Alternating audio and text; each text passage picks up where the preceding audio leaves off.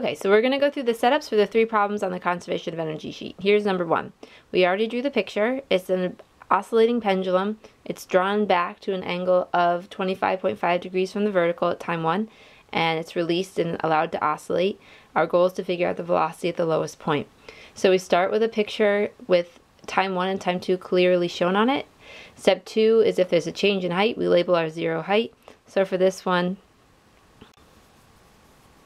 we would want the initial, I'm sorry, the lowest height, H2, to be 0.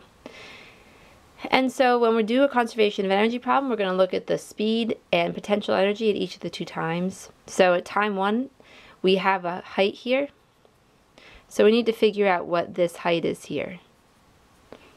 We're not given h, but we are given L, the length of the string, and we're given theta. So if you think of it in terms of geometry, if we have a length of side L, and then we draw it back. That doesn't change the length of it. Here's our angle theta. And so if we want to figure out this height here, the amount that the first position is above the second, we need to know the length of this side of the triangle. Because then L minus this equals H.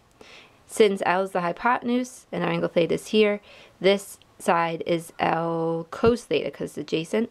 So H equals L minus L cos theta. That's very helpful for a pendulum. It's almost always going to be how it's set up. And so if H2 is 0, H1 is L minus L cos theta. At time 1, it's not moving, it's released, and we're looking for the velocity at the bottom. Once you have a clear picture and zero height, you're going to write your givens, and then we're going to write our whole conservation of energy equation and cross out things we don't need.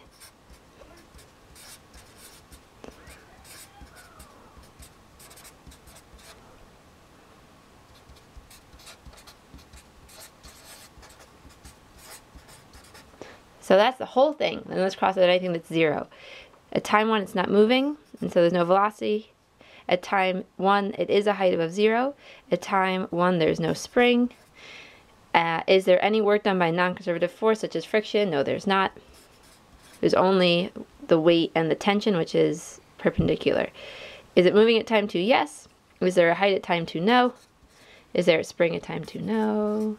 And so we're left with UG1 equals T2. So in other words, mg h1 equals 1 half mv2 squared. And so our m's cancel, multiply both sides by 2, take the square root of both sides, v2 equals square root of 2gh. Now h isn't given, but we did already determine that it's equal to L minus L cos theta.